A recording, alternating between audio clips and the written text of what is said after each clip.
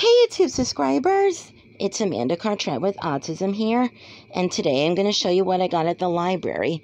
I've got this book of Amelia Bedelia, Under the Weather, and a Dora the Explorer, birthday, a Birthday for Boots book. I also got Fox and Socks by Dr. Seuss, and I also got this book of How to Do a Sinus, sinus, sinus, sinus Science Experiment. I also got this Biscuit and Friends at A Day at the Aquarium.